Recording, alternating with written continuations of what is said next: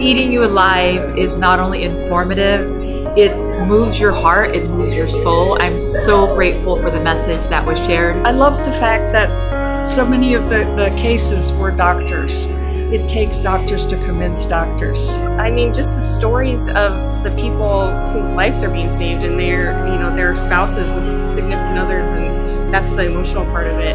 Just being able to, first of all, get knowledge about how I can help myself and how I can help those that I love. Uh, we can share more decades together. So, uh, great movie. Come see it. It's fantastic, and I really wish that I could have shared this with my father before he passed away. So beautiful, beautiful experience and practical as well. And I see something big and huge on the horizon, and I can't wait to be a part of it.